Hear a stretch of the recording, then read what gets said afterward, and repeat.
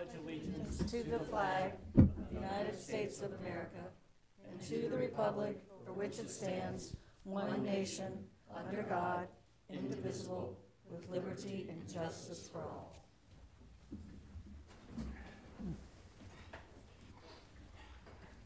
How are you?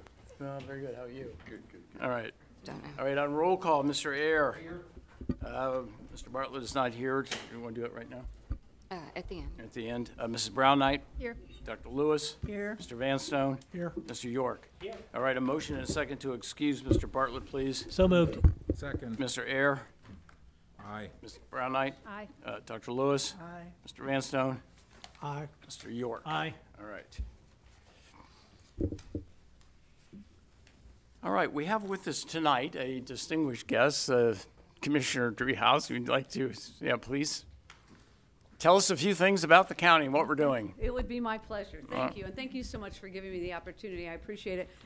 I, um, when I was first elected in 2017, I did what I called my 49 and 49 and visited all 49 jurisdictions in the county. Wow. I tried to do it in 49 days. It did not work out because so many meet at the same time on the same day. I'm like, yeah, this isn't going to work.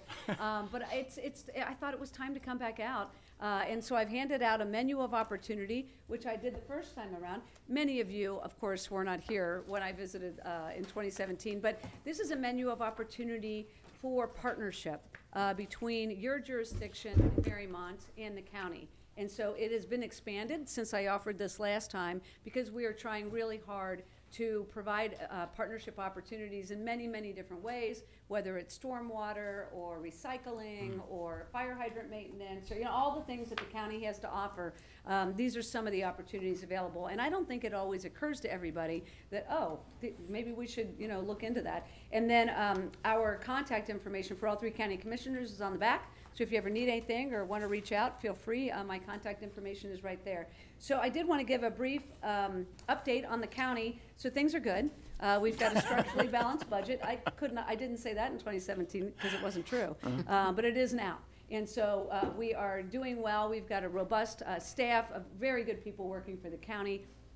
It's important to you because those are your constituents as well as my constituents. And when people call 911 or rely on a sheriff's deputy or uh, rely on someone to make sure kids are safe in their homes in this community, that's us. Uh, That's the county. And so we're a bit of a safety net organization. Um, But I, I want to say that we have had ups and downs with our workforce. Uh, we were in financial straits for a while there, uh, but we, now we are in uh, a competitive set when it comes to uh, acknowledging that we want to offer our employees the same benefits that others get in their competitive set throughout other counties, including Warren Butler and, you know, that are right next door to us. Um, So some of the big things that are going on at the county would include the convention center district. I don't know if you've heard about this, it's been in the news a bit. Um, But again, what happens in the core city really does translate out to the other communities, uh, by, especially by way of revenue available to us to partner with everyone. Um, and so the convention center, we're doing a two hundred million dollar renovation. Along with the city, we're in partnership, you don't always hear that about the county and the city, but it's, that's how we're functioning now. Um, and so we have gotten together and said, we need to renovate that facility to bring in conventions that we're missing right now. Uh, it, I don't know if you've been down there lately. I was just down there this weekend for an event. It is rather tired and rather old and rather gray. Uh, and so we've got a, a redo going on. It will also allow us to eventually uh, expand the exhibit space, which is another critical piece of bringing conventions into our area. And so we're building also, a, a, actually, a private developer will build a hotel to the south um, that will be the hmm. headquarter hotel. Hmm. So the Millennium came down, and that was ours, the, the county side. The convention center is owned by the city. The property across the street is owned by the port. Three CDC's got some property over here, right? And so in the past, we have not come together and done this uh, t- i- as a unit. And so what we have said is, we're gonna treat this like a district. And so it's a couple of blocks worth of property owned by, uh, you know, city, county, port, three CDC. And we're gonna do this collective work so that we're not hitting and missing each other, right? Not doing something here that doesn't make sense to the, the thing here, right? Right. And so we're treating it like a district, a district. Three CDC is on the lead. And then the city and the county are uh, participating in the financial stack and, and in all things, uh, participating in this. So it's pretty exciting. C- Bad news is Convention Center will be closed down for about 18 months. The good news is when it opens, it's going to be completely different than what you see now with a lot of natural light, much more program space. And we are going to program outside space as well. Close down Elm Street, am I right, it's Elm? Uh, Go across to the green space that was where the Millennium sat and use that as programmable space for the convention center, which is kind of the new trend if you've been anywhere for a convention lately. So it's pretty exciting stuff. It's in the city, it's also in the county, and it benefits everybody. Uh, so that's, that's, that's the good news. Um, something else I often get asked about is the Bengals, and so I'll just uh, head that off at the pass and tell you that we, uh, the contract expires in 2026. We are in negotiation, we're always in negotiations with the Bengals, right? We've got all these amendments to the original lease uh, which none of us are all that crazy about. But the amendments have made things better, and we're in partnership with the Bengals at the mo- at this moment. Uh, we're doing some significant renovations in that window of time next year before the team needs to get back on that field. And so the city and the county are participating together to pay for those renovations, which is a new look. It used to be entirely on the county through the sales tax that was approved by the voters uh, to pay for all those renovations. The split is about a 60-40. So the county's in for 60% and the Bengals are in for 40. They've never done that before. Right. And so I'm optimistic about the negotiations, right? Because if Yeah. we could uh, hold that line and continue that relationship going into this larger question of what we need to do to renovate the facility, I think that's good news for taxpayers eh, because the taxpayers will be on the hook for less than what we have been, which is about 94% in the past.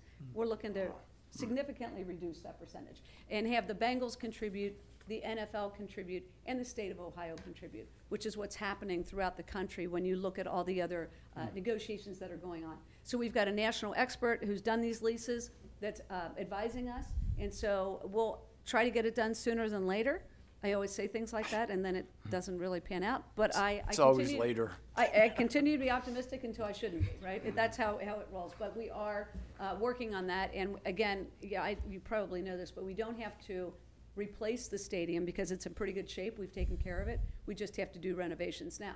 It's about five hundred million dollars, so it's not a small bunch of renovations, um, but we don't have to build a two billion dollar stadium. So i- if we want to keep the Bengals here, so and, and that's the end goal. So I just want to give an update on that. Um, and then lastly, I'm going to talk a little bit about partnerships. So I, I'm doing this 49 and 49. I'm, you're probably like 21, maybe something like that. So I've been to a lot of townships and villages and, and small cities.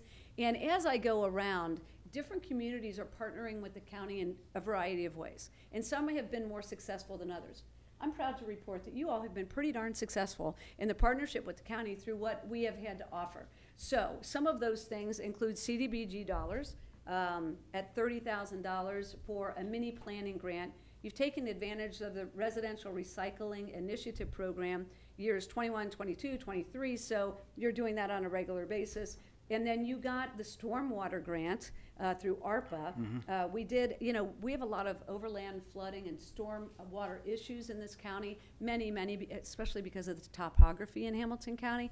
Um, and so we have not done a lot related to stormwater in the past, and we're starting to get into this space. Uh, and so I think it's a relief to communities to know that you can partner with us. Now, these are ARPA dollars, so they're one-time dollars, but it is something we're trying to pay attention to. And I just had a meeting last week with somebody from the uh, US EPA to figure out what other funding streams, maybe through the infrastructure bill, or law, I should say, um, are available to us to use and bring down uh, to other communities. So I'm hoping that we continue to do this work with the federal dollars, but that is yet to be seen, because I don't know how successful we'll be in that work. And then one last thing, um, and then I'll finish up, and I'm happy to answer questions if you have them. Um, one other thing we've done with our ARPA money, we got uh, this money from the federal government uh, because of COVID. And uh, we did different tranches for emergency relief, for uh, rent relief, and small business relief, and arts relief. One thing, though, we did to be more transformational with those dollars is set aside 40 million related to housing and homelessness. And I'm proud to report that one of the tranches that we set aside, so we had this big chunk, and a lot of it's for affordable housing in all different parts of the county, a lot of density going in in the city, some habitat homes going on in other places.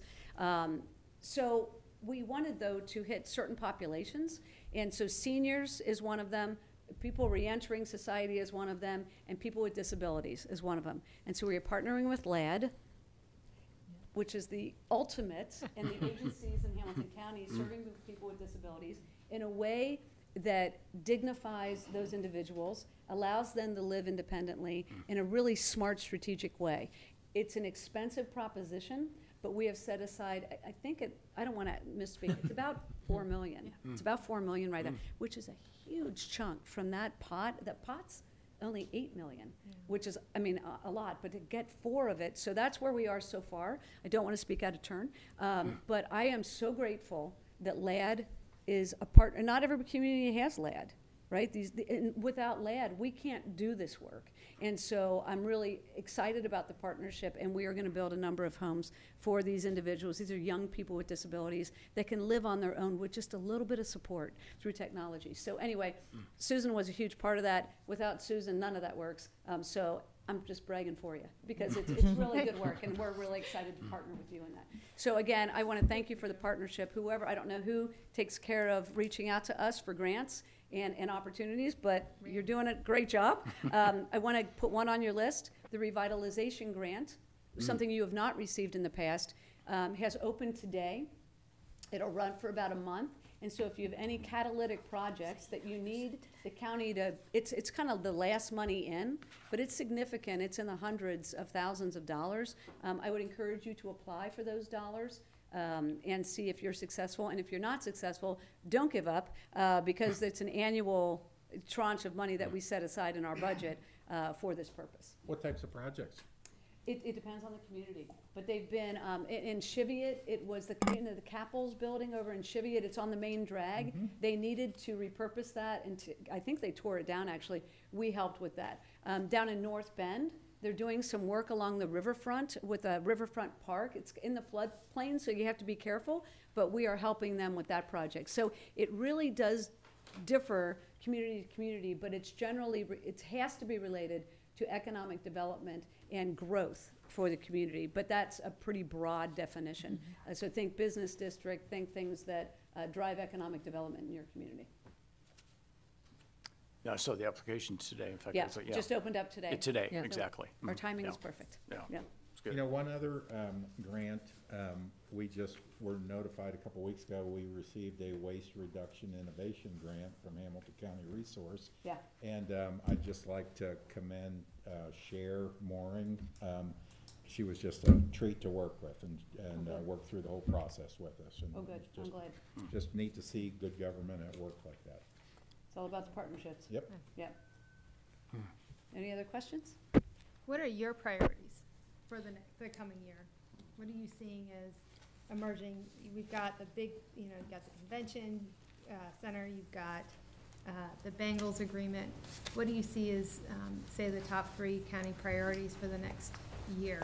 And if we're, for us, as we're figuring our stuff out, if we are aligned, you know, what would that look like? I think um, some of it is related, people are still struggling in many parts of the county, and we have to pay attention to that. And so we just put more money into our mortgage relief effort. Um, Folks are struggling to pay property taxes, as you might imagine. Uh, And so we just put $700,000 last week into a mortgage relief fund uh, to help with that. It's, the, the entry point to that is 513 relief.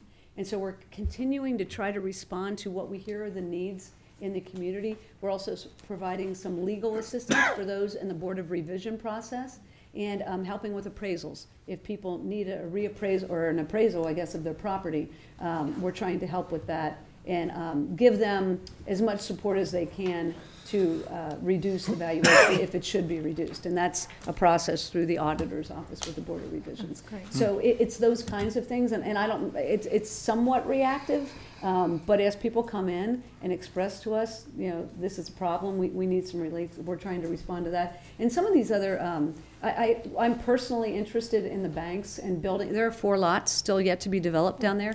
Um, I'm very interested in finishing that out. There's one that's, could have some serious density on it, Lot 24. And as you may know, GE is no longer in the building down there, and the city had an agreement with them, and we were a secondary signer to that agreement. But as they're exiting that market or that building and moving folks to Evendale, so they're still staying in the county and, mm. and they're doing other things to try to remain, you know, create a significant footprint here, but they are vacating the banks. We have asked them in partnership with us, given that dynamic, to help us create a study to look at those four properties on the banks, and they have said yes to that. Uh, and so we will be working with the Bengals, with GE, with the city, the county, to try to finish out some of this really, um, necessary economic development down, work down there, to the benefit of all the retailers, to, ed- you know, the Right. music venue, you know, all the stuff that's already going on down there. And so, so we're thinking along those lines as well. Yeah. From um, the perspective, from your perspective, you've come here and said these are the things the county can do to help us. Are there things that the village um, and communities our size can do to be helpful to the work going on at- the county level? I think this, just a continuing dialogue is really interesting. You know, the, the community revitalization grant was my idea a couple budget cycles ago because I was out talking to communities and they were talking about how, especially be- post-COVID, people were really struggling just to get the last money in to some of these projects that were mm-hmm. already underway, the plans were made, and they said, we just need some assistance. And so we put aside one point five for that purpose, mm. and then it's, it's a competitive process, but we, when you thrive, we thrive, right? It's, it's all, it's a symbiotic relationship. Sure. And so just a continuing dialogue as to what you're seeing and what the needs are, it's really helpful as a policymaker maker then at the county to say, oh, we should think about this or initiate something to respond to a community need. And so, ready and willing to do all that. Anything else? I just want to, I, I mentioned to you earlier, uh, everyone I've worked with, from Maria Collins to Steve Johns to Holly Crispin, they've just been terrific and, and I'm grateful as, as a resident of Hamilton County, I'm grateful for everything you do. So, Thank you. Thank you. Thank you, I appreciate, you and for our, our staff are rock stars.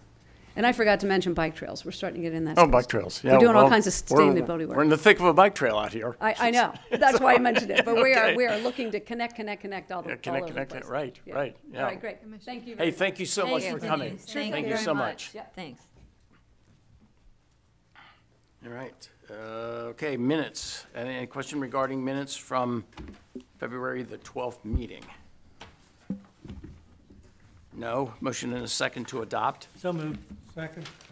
Mr. Air, Aye. uh, Ms. Brown Knight, Aye. Dr. Lewis, Aye. Mr. Vanstone, Aye. uh, Mr. York. Aye. All right. All right, in communications, we have, uh, starting with Chief Hines' report. Uh, Chief, do you have anything you wish to say, it tell us about it? Or Anybody have any questions about it? Chief? Uh, nothing this time, Mayor. Okay. I see you got a couple of nice, uh, little kind of thank you notes uh, from some residents, and I think one of the, one of the individuals, w- w- were they the recipient of a s- sort of a Christmas stop in the, uh, one of the credit cards? Yes. Yeah. All right. Any other questions? Chief Hines' report? Okay.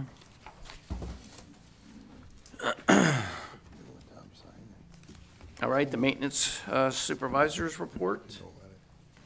Ben? Good report? I would like to commend Ben on this. This is a really good report. I appreciate your putting this together. I like the new format. Yep.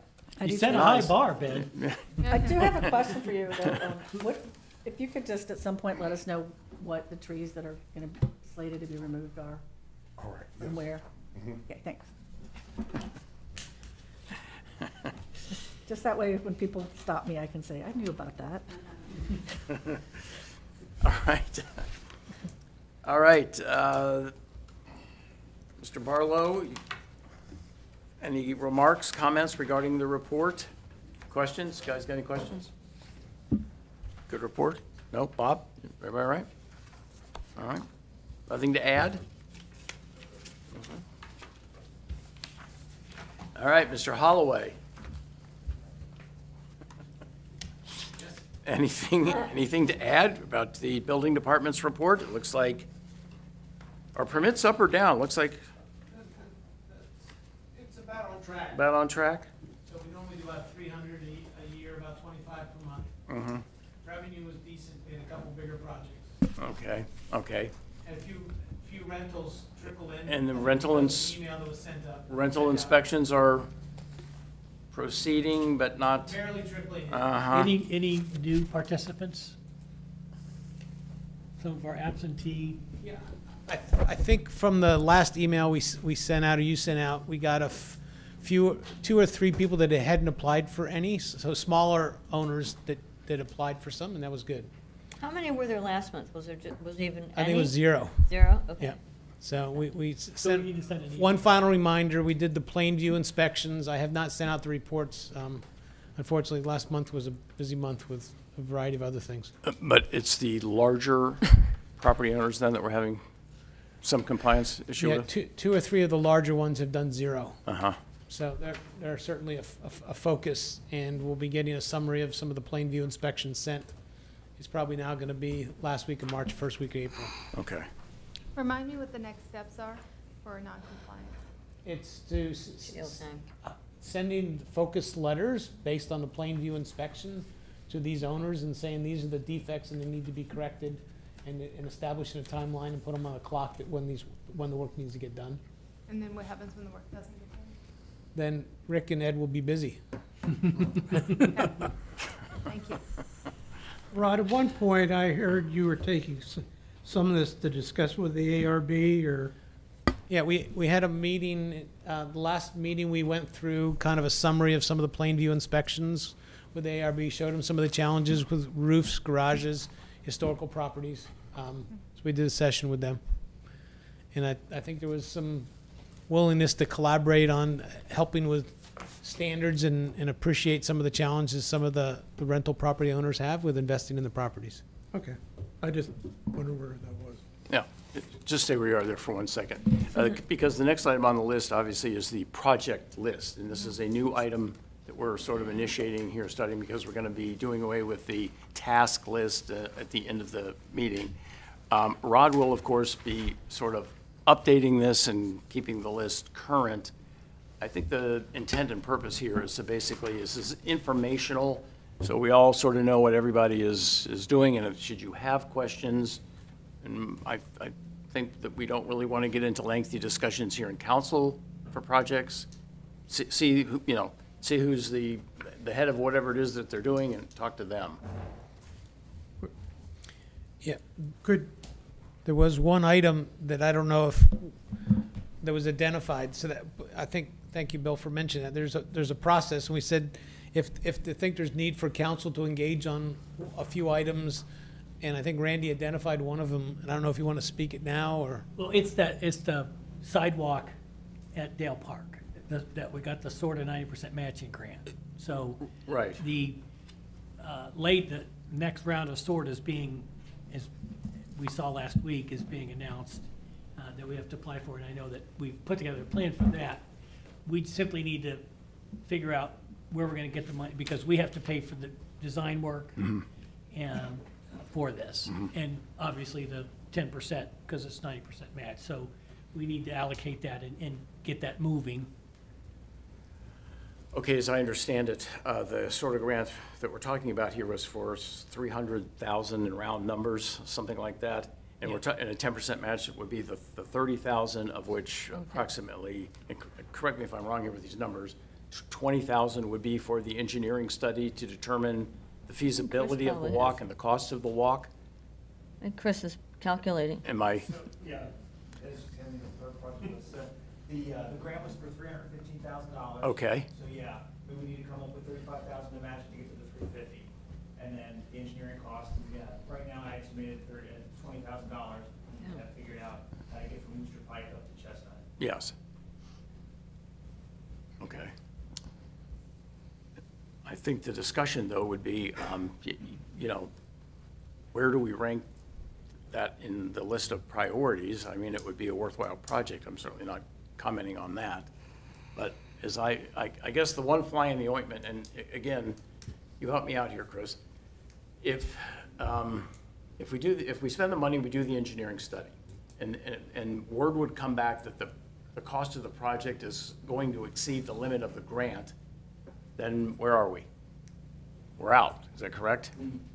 Yeah, I mean, the, The grant goes from, on Pleasant Street at Mariemont Avenue, all the way up to Wooster Pike and then crosses over Wooster Pike. So we Right. could still do, I guess, south of Wooster Pike and build that. And then we'd have to figure out what we want to do with the piece north in Dale Park Right. from Wooster to Chestnut. If the expense came back too much, we could non-perform that work. I would have to talk to Sorta to see how we wanted to do that with the grant and still build the sidewalk on Pleasant Street south of Wooster Pike and just see where they would like to go with it from there. Oh, so we, yeah, so we could piecemeal it. I mean, we could at least do- Yes. do part of the project for sure, at least. Okay, okay. But the, Chris, en- it- oh, the oh, sorry. engineer, the engineering for the piece on Dale, Pa- on Dogwood Park is covered by the Kleingers. So Right. We don't have to account for that. Correct. Coming out of Centennial. The design aspect of it. Correct. Th- And when okay. are we gonna get design drawings? Well, that's kind of why we're bringing it up now, so, because we need to start that process. But if So, Kleingers doing it, No, no, No, no, no, they're doing Pleasant, but the, the part that runs through Dale Park, that's what we need to get. okay. From, from on Wooster the Pike north down side of over the Wooster. bridge, along uh, Waldorf School up to Chestnut, that, that section. But I guess my question was, when are we gonna get the engineering drawings for Dogwood? Probably we'll start in earnest in May. So those plans are, you know, 85, 90% complete as is. We're waiting for grants to come through to see if we want to, if we have to phase it or not, so.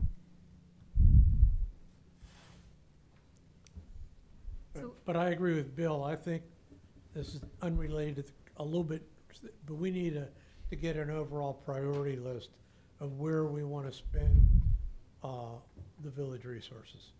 Cause I mean, I, Understood. I, I'm very nervous about, we have an opportunity for grants, so we go do that. Well, maybe that isn't high on the list of what the community needs, so we just need to work our way through that. And I'm not sure what the vehicle is, but Well, we're, Chris, Wouldn't that for be- Wouldn't that be clarification, committee of the whole? just so that everybody's on the same page, you have the Dogwood piece and the Dale Park piece. The Dogwood piece and the whole project is three hundred and $50,000. three fifty. So usually what we think in terms of the design aspect would be about ten percent. And in the Dogwood Dale part, it's, I don't know, it's roughly half and half, I think, I don't. Right. thereabouts. So if it's roughly half and half, then the design aspect for the Dale portion would be on the order of seventeen, might even be fifteen, something like that. So it's, uh, so if we, if we get the design drawings, and this is, again, is something that we do have to prioritize, is it important, should we do it, is council gonna spend the money on it? But when we have that design, then we have that design, and then we can do it, whether we, then we can take the next step. But it's, but it's not the thirty-five thousand, it's, you know, the roughly, I'm guessing, I, I, I'm guessing, and based on how you did that estimate, Right. I'm guessing it's gonna be more like fifteen, because, because Chris really patted the heck out of how he put together that, uh, engineering estimate. That's just my guess. that's the cost, yeah, of the engineering estimate. Correct. That- would be money that we would have to front up, spend. Correct. To get an estimate as to what the sidewalk is actually going to cost us. That and have it designed for whenever it is we do it. Right. But I guess what, my, my, my point is that I'm only bringing this up as a consideration. You know, like I said, if we, if we go ahead, and we spend that money, and I'm not saying we should or we shouldn't at this point, and the estimate comes back and it's beyond the scope of the grant, then where are we? Same as we are with any grant when that happens, but like I said, if Chris could, could elaborate on that if, if he chose to, but I think we're getting a little into the weeds on that for a meeting like this tonight, but it, there, there's a lot built into that, uh, that estimate, so I, I think it's gonna, I think it, I think we have a good, solid, conservatively high estimate that went in for the grant. Okay. You agree with that, Chris? Yeah, And, uh, yeah, well I, said. I meant yeah. when we put it together, we in- clearly wanted to do Yeah, it that way. right, wanted to make sure we were covered. Right, right. It's a con- very conservative estimate, so I expect the cost, we'll be able to afford it if we wanted to spend the match money. Yeah. Well, I, I mean, if, if, if we can afford it, we can get the grant money, then I would think so, but I'm just saying, if we spend the money for the engineering work and it, and the and the, the estimate to do it exceeds the grant, then we've spent the money on an engineering study, or later, I guess, or, I mean, it's. know. Right. It's just a consideration, maybe it's, I'm, I'm not, you know, we, something I think we should, we should talk about, Agreed. yeah. Yeah. Anybody else got a thought? No? All right, I, I think the next step would be maybe a health and rec meeting to propose something to council.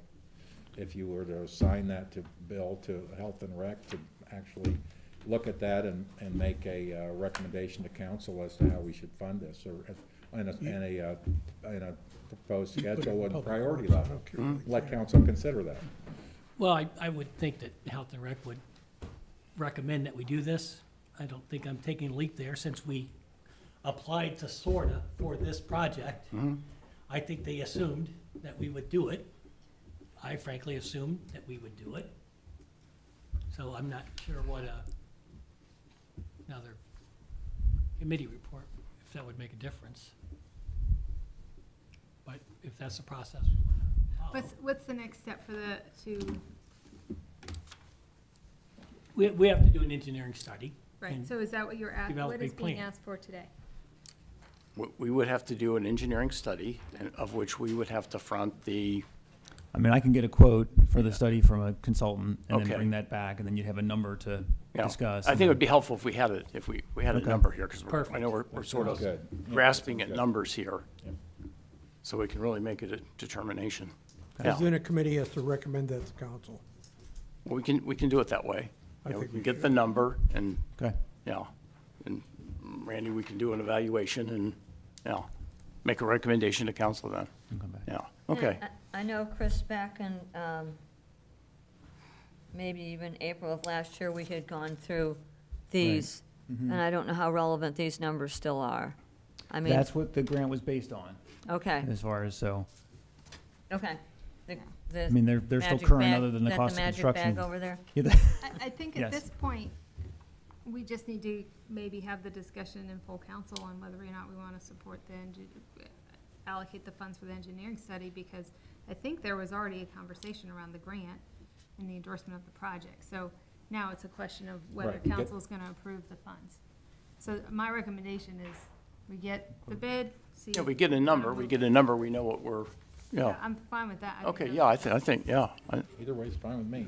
we agree to that, yeah. Yeah, Okay, Okay, thanks, Chris. thank you. Yeah, thank- One, one more comment on the t- project list. When we, when we finish the appropriations at the end of the month, could you g- make sure you get all those numbers and update the dollars in your, in your task list? Yeah. Does Rob have that information? Kelly? Kelly will have it once it's approved, right? Well, I'm sorry. Appropriations, Oh, yeah, yeah, yeah. Yeah, I, I'll get What's with Kelly that? to get the, the numbers. at, at the end of the month, when- after we do the, What's an appropriation? All right, Mr. Ayers, you have a narrative on the pool repair?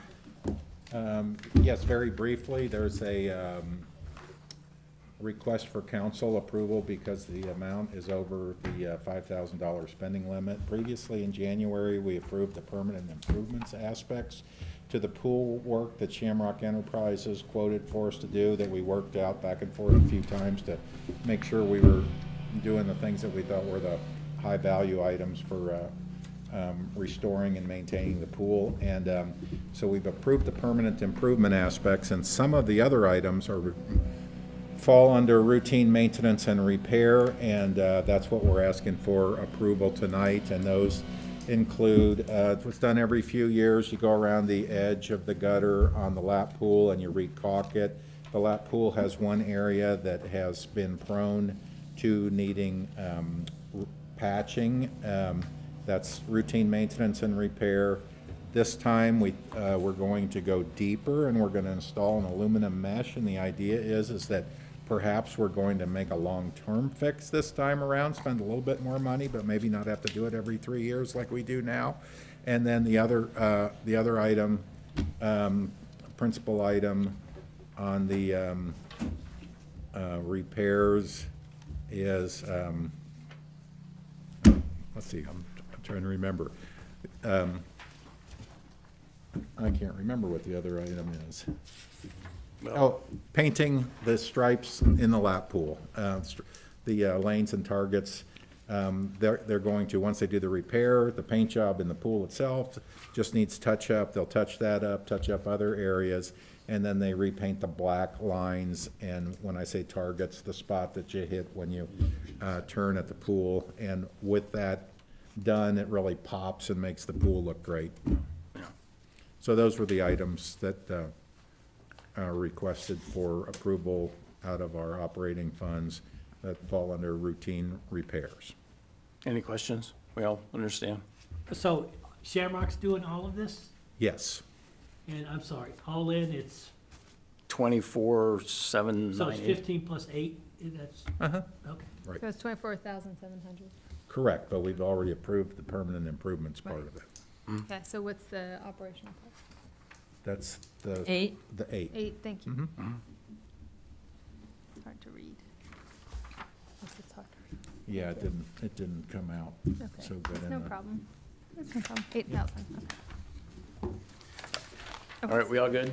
Motion and a second to approve. So moved.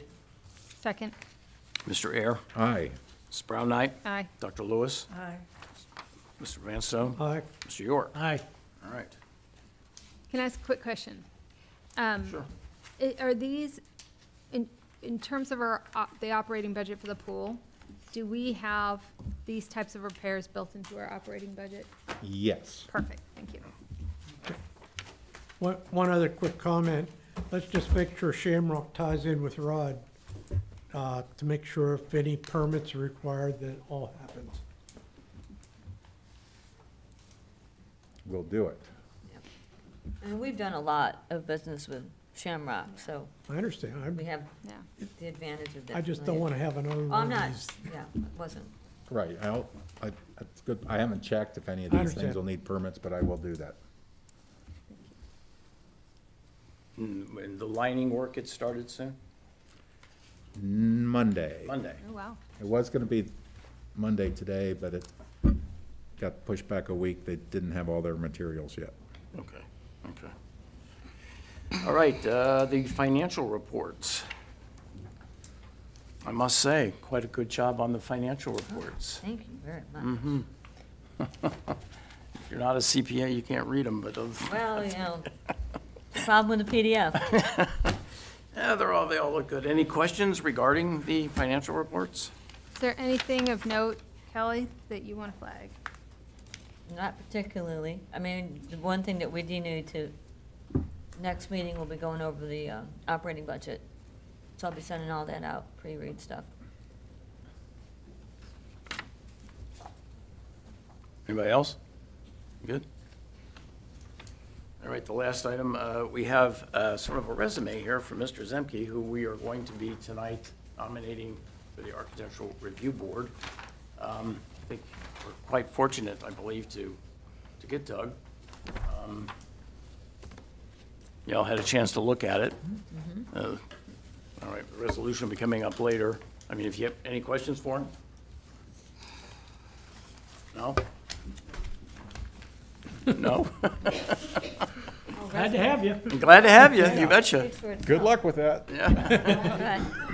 We just don't want in baskets. you only knew what you were Uh-uh, getting no, no, into. don't anybody scare them up. Please. Please. All right. Um, Well, permission to address council. I see we have quite the crowd here tonight. Uh, uh,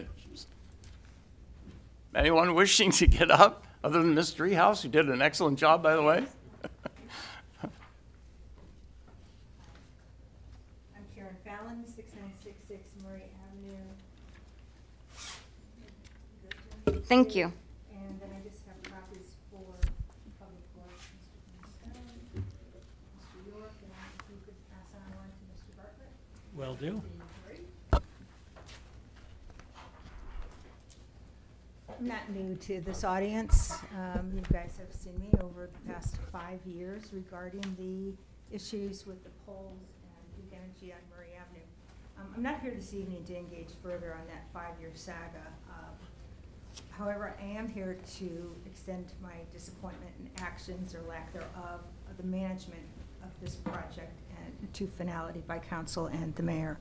I'm submitting a record of copies of communications um, and my concerns regarding the unsafely, unsafe, unsightly and unsafe wires that were left behind for the wooden poles, and I've actually included images for your review. There are nine pages of images, and there are 16 email communications um, beginning on July 5th of 2023. Sadly, of those communications, 12 of those emails are just my requests for, please respond. What can I do? What do we need to do? And all of those have- were gone unanswered. It's just been a continued me dogging, trying to get an answer for that. As a resident, um, the exhaustive and unnecessary efforts on my part to secure just a simple response I find unacceptable. Um, But it pales in my comparison to my efforts to secure action and resolution. On December 1st, I reported a safety issue with um, me witnessing several children after school hanging on the wires uh, across from my house that were still hanging from the wall to the ground, or from the poles to the ground. Um, I was finally told after the first, on the 22nd of uh, January, that the maintenance part, department would come out and, re- and take care of it and put an encasement over it, which actually, if anybody ever looked at what was the issue was, there's no way the maintenance department could possibly take care of that. That has to come from the utility. Even I know that. Um, But I don't think anybody even looked to see. So that comment was um, really just out of order. I was also told that Spectrum had taken care of their wires, which in fact is untrue. The orange wires belong to Spectrum. Um, And then it was suggested that I reach out to Alta Fiber on my own, um, which I did. Uh, And I have to say, it was a wonderful experience. On Friday, I called. First phone call was answered by Mr. Bob Walters. No knowledge of any issue whatsoever. No understanding of what the problem was. Didn't even know who I was talking about. So it was clearly a surprise to them that this was an issue. Um, Within four hours, I had a response back from him, taking ownership. I sent him images. He responded by one o'clock, called him at nine in the morning, images, and he bullets through a list of those poles that I showed him. This pole, this pole, this pole. This is ours, I'll fix it. This, this, this. Okay, so it wasn't that hard. So I'm wondering, why did we have to wait all of these months to get an answer, and I feel like it was just overlooked. Um, so for eight months, back and forth of nothing basically resulted in nothing. Um, it's been an issue that has continued of a game of who's on first, followed by with smoke and mirrors on deck, as far as I'm concerned, because so and so is taking care of it. And I don't think there's anybody in this room who hasn't had some kind of involvement in this whole saga for the past five years. Um, The only person I can honestly say that has given me an honest answer regarding resolution and, and uh, inquiries to this issue is Dr. Lewis, who, in a council meeting, stood up and said, you know what, I'm not going to engage in this because I don't think it's an effective use of my time. I didn't like the answer, but I got to tell you, I respect her for giving me an honest answer. Okay, fine. Instead of just pushing it around, emailing, point and click to somebody else to resolve it. So thank you for that. I always appreciate an honest answer, even if it's not what I want to hear. Um, What I'm asking this council at this point is to pick up where I left off. I'm, I'm providing Public Works with the poles, the communications of what they've said at Alta Fiber, what's doing. Can somebody please follow this up with them? Duke, I believe, has handled most of everything at this point, although the phone number I was given to reach out to Duke is not a, a real phone number. It goes into nowhere, so I have not spoken to Duke. Um, but Spectrum has work to do as well. I, I really would like to resolve this after five years. One of my neighbors had three babies in the course of the time that it has taken to get this resolved. um, if this is an indication of how our village is going to manage and maintain a multi-use path, which is going to be installed right on that way, on that pathway, I, I'm questioning my support of, of that particular initiative. So please get involved. I'm asking you to. I don't care who, what, when, and why. I just want it done. I don't want to talk about this anymore. I'd love to come to council and stand before you as I st- kind of slow down with my own business and say, what can I do, something positive in this village besides chasing down Duke Energy, Spectrum, Alta Fiber, and the councils that keep changing positions all the way through. And that's really all I have. Thank you. No. Thank you for your comments.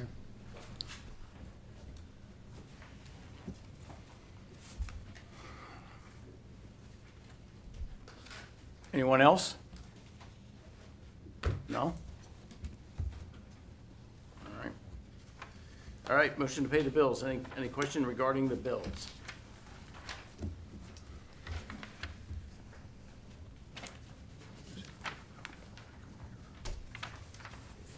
No? We good? Motion to pay the bill, yes, I so moved. Second? Second, Mr. Ayer, Aye. Ms. Brown Knight, Aye. Dr. Lewis, Aye. Mr. Van Stone, Aye. Mr. York. Aye. All right.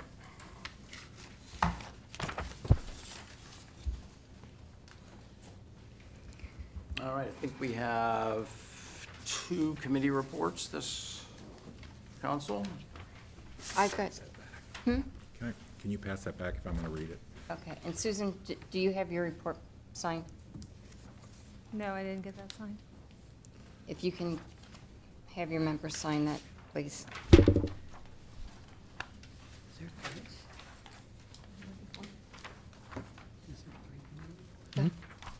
So, don't see one for safety rules and committee I don't report. see it, I don't see it. I thought I read it last, I, I did one oh, last Oh, I'm time. sorry, Public Works. Thank you. I was like, oh, Oh. no. You got it? I needed to read it. Got It's it, okay. My apologies. It's I knew I was Safety- missing one. Safety committee, we're up here. The safety committee met on Fe- Wednesday, February fourteenth. Present were members Matthew Ayer, Rob Bartlett, and Randy York, as well as Mayor Brown, Chief Hines, and fiscal officer Kelly Rankin. Um, Somehow I left off that Joni was there too. Chief Hines presented a recommendation to hire a new officer. Um, no, never mind, she wasn't there. Okay. Chief Hines presented a recommendation to hire a new officer in the, in early second quarter twenty twenty-four. Uh, the police department has identified a highly qualified candidate for the position based on previous interviews from the last opening, and, um, Chief Hines recommends this hire to fill in for an officer who's presently on an extended medical leave. And then next is bring the unit to its normal, full, active force of the chief plus uh, nine um, officers and um, lieutenant and so forth, plus the school resource officer. And um, with that, this staffing level, um, it's a recommendation of the committee, minimizes the need for frequent schedule shifts, which negatively impacts the morale of our department. Um, This would more readily maintain two officers per shift coverage in the village. Um, It minimizes the need for village-paid overtime to cover normal shifts and will also help smooth the transition at the, the end of this year when two of our most senior members retire. So at the end of the year, we won't have two people to bring on and train immediately. We'll have one who's already been trained since the beginning of the second quarter. Um, s- After discussion, the Safety Committee unanimously agreed to recommend to council the hire of a full-time officer in early second quarter 2024 um, in accordance with the chief's proposal, and uh, submitted by uh, myself as chair, Rob, and Randy. All right, you've heard the report. Any additional discussion? Chief, do you have anything you want to add to this or say? No, just thank you to the uh, committee for uh, listening to our need and to council for considering it. Uh, Bob? I have a question, and you may get, being a newbie, you may be tired of me asking this question. When we go reach into the general fund, I'd like to know what the, because this will be a one-time cost, as I understand it. Correct. And so I th- would like to ask a question, which I think we need to ask on every appropriation, is what is the impact on the general fund, and that includes uh, salaries and fringes? And I'm, I'm, I think it's a good idea, Chief, I want to let you know that, but I just, I think we need to ask that question as we go forward, that's all. And the answer, we do have the answer to that question, and it's approximately eighty-five thousand dollars this year. Which will take the Which you- balance of the general fund at the end of the year to, Well, we'll, we will appropriate, I mean, that was one of the things when we adjust the budget for Yep. twenty twenty-four, for the permanent appropriations. okay, That ninety will be, ta- or eighty-five, ninety, I just rounded. That's an all-in number. Mm. Right, will be, you know, added to the operating budget for the police department. okay. But we, Just, I want, I, I want us to do that. Again, it's an important question. sure, yeah. Okay. It's a, it's a big number. Okay. Apologize for being a newbie. It's all good. Don't ever have to do that. We were all there once, right? I don't remember. Anything else? No? All right, a motion and a second to accept the report. So moved? Second? Second, are we going to get a second in here tonight? Mr. Ayer? Aye. Ms. Brown Knight? Aye. Dr. Lewis? Aye. Mr. Vanstone, Aye. Mr. York? Aye. All right, we'll accept the report. All right, Public Works?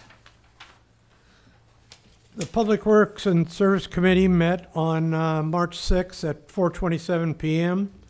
In attendance were Committee Chairman Bob Van Stone, Committee Member Randy York, Village Fiscal Officer Randy Kelly Rankin, and Mayor Brown.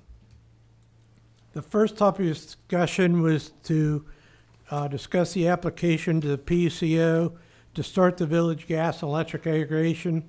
After some discussion, Ms. York moved the village should pass a resolution to file for the gas electric ag- aggregation of the PUCO. Mr. Van Stone seconded the motion. Also discussed was the trash and recycling service needed for 2025. The current contract with Rumpke expires at the end of 2024. The village cannot enter into an agreement with the Center for Local Government, CFLG, until the start of 2026. Ms. York moved that the village should pass a resolution to have the physical, the village fiscal officer get bids for an annual cra- trash contract with multi-year extensions. This would permit a cost comparison between the cost of extending the village contractor, contract with the cost of working with CFLG for a contract, uh, trash contract prior to 2026. Mr. Vanstone seconded the motion. The committee discussed the options for LED street light conversion approved by the ARB on October uh, 3rd, 2023.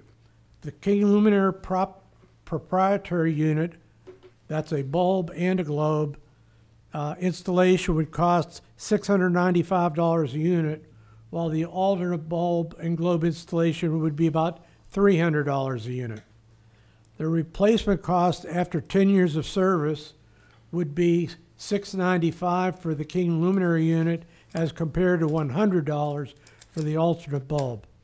The committee needs to get the exact number of uh, Mariemont streetlights from the service department uh, in addition to any cost of additional hardware needed to install- install the alternate LED lamps.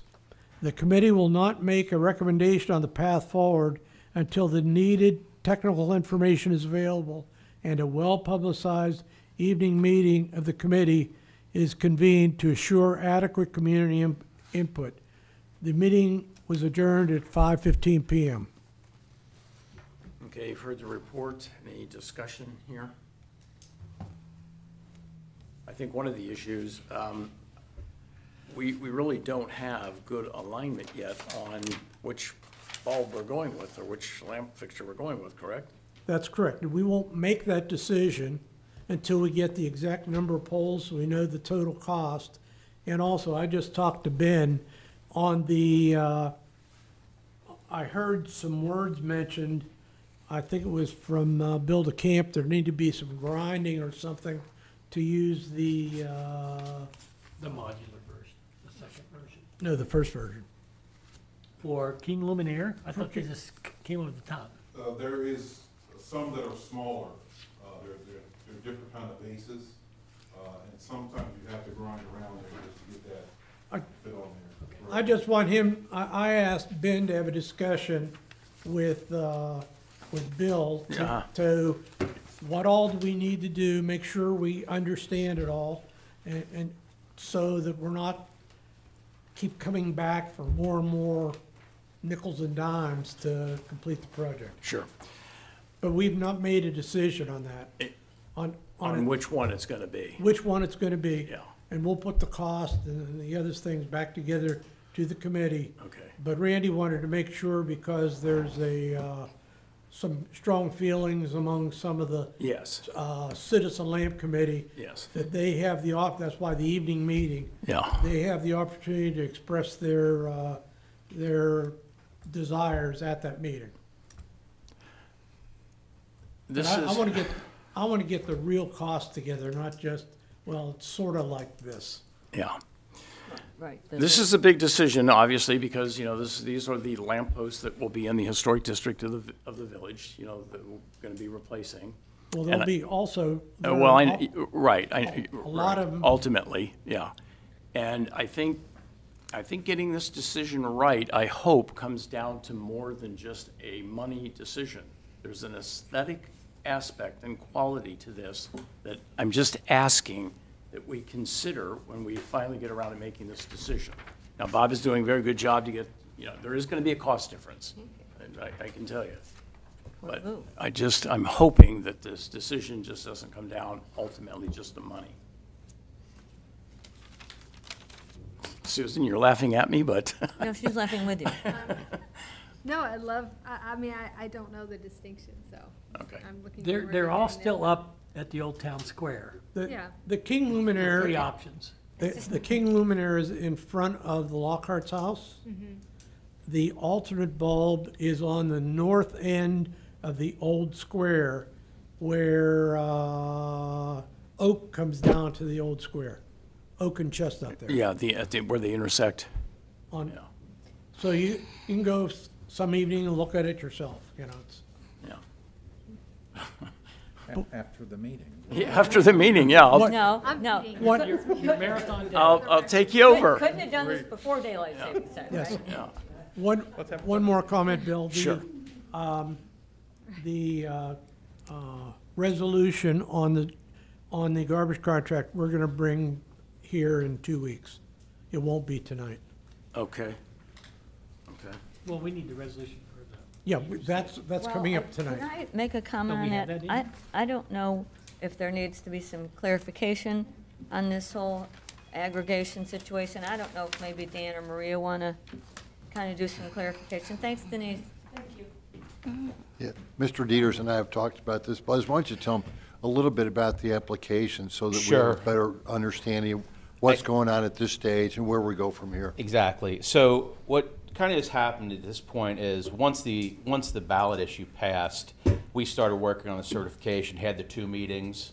Um, The, this is basically the ballot, or the, the certification for Mariemont to become an aggregator. That's where we are now, and that's what issue we're asking to pass. And if, if you see your way clear to pass as an emergency, that'll save you 30 more days. Because if we have to wait two more readings and if uh, something would happen and there's no quorum or something like that, um, I would say that, that it would be better to move this thing as quickly as possible to let us get to the work of pricing the term, doing all the other things that, that I can put in front of you to say, hey, let's move forward this or let's not move forward this. But until you're certified under the PUCO, they won't even give us the list from Duke so that we can figure out how to bundle the RFP for the suppliers. I, my understanding was there's one more step in the process. That, that we need to get some information, from PUCO, of you and alternate aggregators, if that's the right term, um, uh, that, that might service the community. We're under contract. They were, we were, we've been under contract since last year. I have not seen that in. I'm happy to provide, I think we sent it over, actually. So, No, why go we ahead. reinventing the wheel? Well, I, I, if I could just interrupt, if, if council would choose to go ahead and amend it to be an emergency, I think you could have the first reading tonight. I do not think you can pass it on emergency because it hasn't been put out to the public. That's fine, I'm that just it saying at would your be next meeting, passed. you can save the time, is all I'm saying. We, we wouldn't, we wouldn't go through this whole process unless we were already under contract with the, with the village. That, and that's, and we did that last year prior to the election and everything else. Did, Oh, let, let me, ask, so if we have the first reading tonight, then, then next council, we could have the second, third reading on emergency, finish it out that way? Right, if council chooses Okay. to make it an emergency, we would have the first reading. I Yeah. could change the resolution I- to be passed I have as a an question emergency. for Ed. Are we under contract? Yeah, we do. have a Uh, co- yeah, I have a copy of We it. do have a kind of, Buzz, when you and I talked, though, I Yeah. got the impression that, uh, that once we get through it and you get the pricing, if there's another aggregator out there that presents us with better prices, we have the option to go with that other company. Is that correct? Well, the- as far as us as a consultant, we're gonna go out and get all the pricing Right. from one of five or six suppliers. So all the pricing will be, will I- come through us. Right. I couldn't find a record, and I'm, I'm a newbie at this. uh, I went back and looked, just look for a resolution or uh-huh. something that you were under contract. And all I could find is a resolution to put it on the ballot. Now, if I'm wrong, I, I make mistakes, you know, that's, Kelly Rankin. that's not an issue, but I'd like to get a, that we, we signed a contract, or Ed looked at it and okayed it, or Yeah, I I looked at this. I, Yeah, we've, Ed and I have talked about, talked about it late last summer. yeah. Yeah, I do And then we talked about it pretty recently, Yeah, too. and then we talked about it again. Uh, but what, so what's your question? I'm not sure. I couldn't find a record of where the village signed a contract with these folks, that's all. I think the question. I'm- I'm his looking at this. Is it- Kelly, is that They your would be the signature? aggregator. I don't, is it, does it look like my signature? Looks like some alien signed. Yes, it's yours. It's me. Yep. Is that who you dealt with last year, Kelly? Yeah. Well, that's me signing it as. This was In July. dated the 13th of July of last year. Yeah, so, well, was I sign, uh, I was interim at that point in time, so that would be me signing as interim fiscal officer. Okay, so, so We again, have, we have a contract, we cannot pass Well, I'd like to, emergency night. I'd like to clarify that we do have a contract first. Yeah. Yes. Well, so- it certainly does appear to me that we do. Okay. Yeah, it appears to me I that we thought there was a do. committee report, Okay. that's why I was, And I if, didn't see if it. we do, do we want to apply with PUCO for aggregation? I guess that's the issue tonight, correct? And I Which think is the what the committee resolution recommends that would we do. do I, that. I would say that, Yeah. I would say that if, if Ms. Van Pelt is correct, which I, I think she probably is because of the two-day notice, because you have not given the two-day notice on an emergency, uh, resolution, it would probably have to be kicked to the next meeting to do it as an emergency. Well, I we think can, she's- we can, I, as I understand, we can have the first reading tonight. could. Yes. And then we'll have the second and third reading next time Sure, on emergency and absolutely. conclude it But here's the that way. thing, I'll tell you, uh, Councilman, the, the thing about Energy Alliance is, is, and we represent sixty-five other municipalities in, in Ohio. And I will sit, and I will tell you, what we're gonna end up doing here is we're gonna come and do the whole process for you and come back with price, term, condition for your folks. And, and I'll give you a list of everything around here, like Fairfax, who just, who just, we just signed the contract with Fairfax for their new program. And this is a- really a transparent process in, in how we present everything to the council. And as soon as we get to that point, where we are right now is, we can't do anything until we finish with the PUCO. That's all I'm saying. yeah. And let, let me just go on the record. I, th- I really respect your company. I thought we'd be with you, but I thought we had to do an evaluation first. And I've been, mis- you know, I didn't realize that the contract had already been signed, so I apologize. I apologize too. I would have sent it to you if I'd have thought that that was a miscommunication. I would have sent it right over. Because I was told that we had to do the PUCO, then look at candidates, then, then select one. Yeah, So I- well, I, I would, I would tell you that, that the reason you do it is because we've set up communities on gas and electric over a hundred times. Through the PUCO, we pay all the fees, we do all the legwork, we pay all the lawyers to get all that stuff done. So this community doesn't have one dollar come out of their pocket for the whole process. Good. Not only that, we did our best to inform all the residents through the election as to what this was, and, and as much as as much as folks will listen. so, I understand. It's a big asterisk. I voted yes. so- yeah. So, uh, so that said, um, if you if you choose to do the first reading, which is great, and then do the next one as the emergency, what the, then the process will be, we'll send the whole packet to you. Also, you don't have to. y- y- putting that packet together is not something that an administration in any municipality would want to do. It's a pretty big deal. So we'll get that packet. You'll designate someone to sign off on that application. Uh, I think it's probably Mr. Ty. I think Mayor will sign off. the mayor can sign off. Eh, Anybody can sign off on it. It'll sit up there for 30 days, and then we'll get a notice that you're a certified aggregator. Aggregator will come back after that with uh, a couple of forms to get signed with regard to getting the information from Duke, and that takes a couple weeks. And then we'll put the package together, we'll send it out, we'll come back, and we'll give you a full scorecard as to what these folks will do for Mariemont, and then some surrounding communities, obviously, where they sit, so you know. So, and, and the, the term of the agreement will be determined by the council. The terms and conditions we'll work through to make sure people can come and go out of the program as they please without any fee of any kind. This won't cost your residents ever with, with regard to a fee. So that's, that's the, that's the bottom line. And that's, that's what we do. And then, and then as soon as the council decides what they want to do, we'll, we'll move forward and we'll do all those contracts and get them to you, Mr. McTighe, and you'll go from there.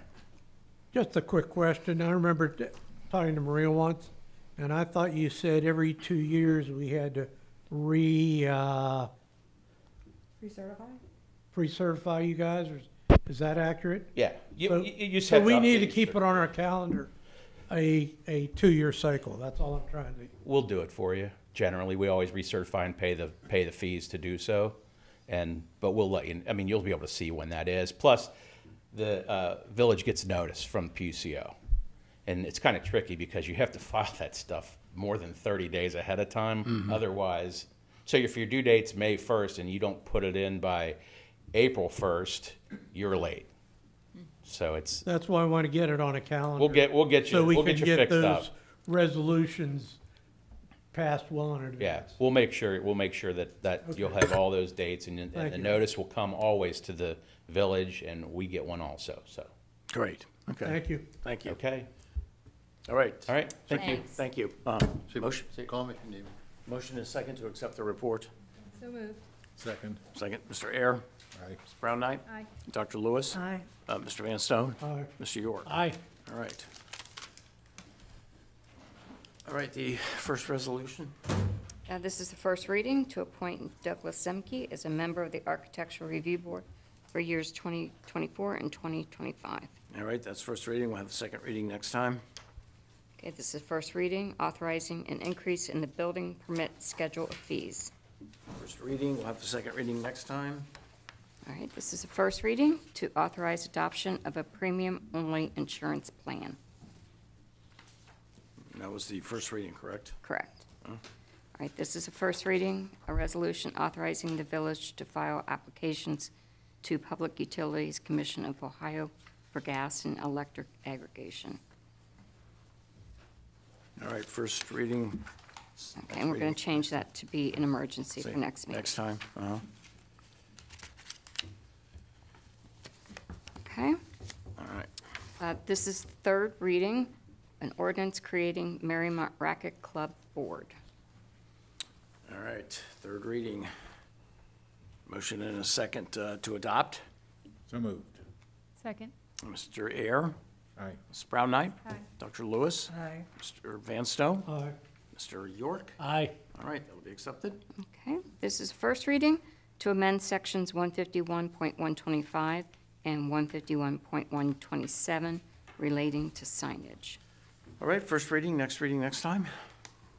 This is a first reading to amend section 151.087, permitted obstructions in required yards, and add new section 151.07.1.2.3.4.5, point six, and point seven. No, wait a minute, wait a minute, wait a minute. You- You missed one. You got all those points in there? I don't know. Is there a point you're trying to make, Tony? Yeah, you making a point? All right, that was, the- that was the first reading, and hopefully this was the last reading of, for tonight. Any other quick, quick comments before I adjourn? I got nothing. Nothing. Go. Okay, we're adjourned. Thank you.